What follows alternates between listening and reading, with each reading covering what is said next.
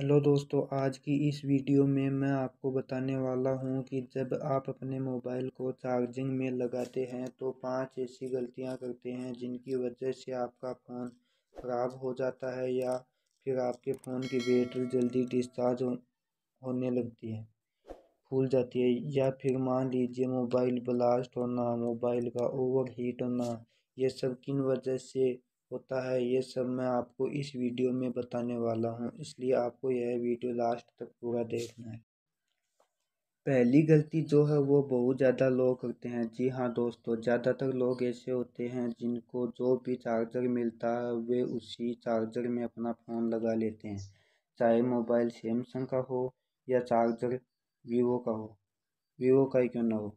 या फिर किसी लोकल चार्जर से ही अपना फ़ोन चार्ज कर लेते हैं। इससे वे अपने मोबाइल का ही हेल्थ बिगाड़ते हैं, उनका फ़ोन धीरे धीरे ख़राब होने लगता है और बैटरी का हेल्थ भी बुरा हो जाता है।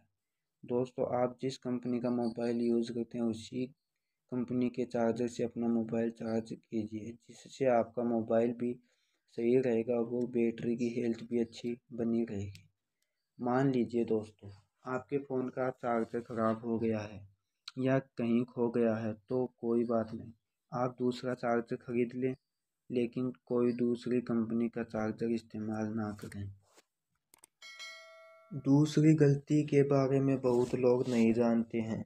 इसमें आप यह गलती करते हैं, आप अपने मोबाइल को बिना स्विच ऑफ़ किए या बिना फ़्लाइट मोड ऑन किए चार्ज में लगा देते हैं। अगर मान लीजिए आप बिना फ़्लाइट मोड ऑन किए अपने फ़ोन को चार्ज में लगा देते हैं तो इससे आपके फ़ोन की बैटरी ख़राब हो जाएगी। क्योंकि आपके फ़ोन की बैटरी चार्ज तो हो गई है, लेकिन इसके साथ बैटरी का यूज़ भी हो रहा है। इसलिए कभी भी चार्ज में लगे हुए फ़ोन को यूज़ ना करें। अगर आपको यूज़ करना है तो चार्ज से हटाकर बाद में फ़ोन को यूज़ करें।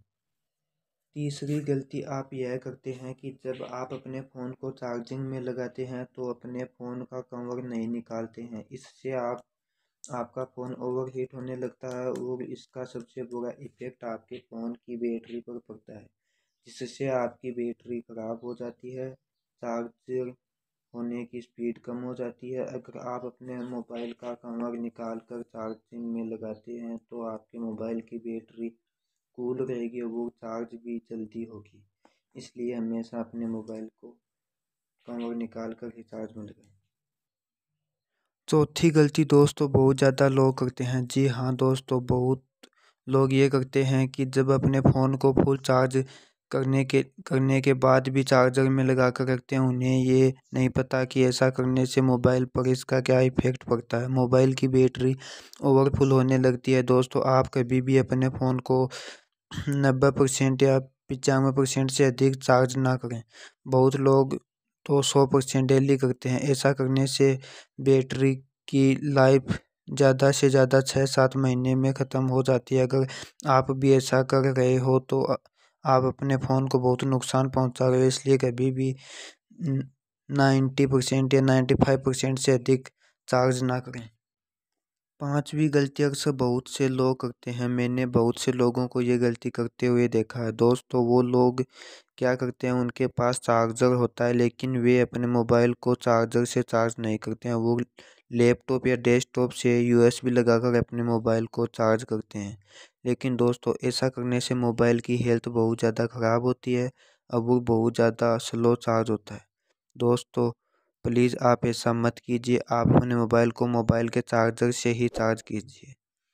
तो दोस्तों, उम्मीद करता हूँ आपको मेरी ये पाँचों टिप्स अच्छी लगी होंगी। अच्छी लगी तो प्लीज़ मेरी इस वीडियो को ज़्यादा से ज़्यादा शेयर कीजिए। प्लीज़ दोस्तों, मेरे इस चैनल को भी सपोर्ट कर दो।